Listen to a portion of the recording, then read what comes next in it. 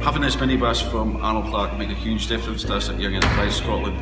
The fact that we'll be able to go and bring young people from primary schools and secondary schools into our environment at Looking Glen Centre will be hugely advantageous to us. Because this morning we had to send two taxis to two local primary schools at half past nine, then they do a pick up back again at our, our site, and then we've got to send teachers with them. So we can't say thank you enough to Arnold Clark for this wonderful, wonderful.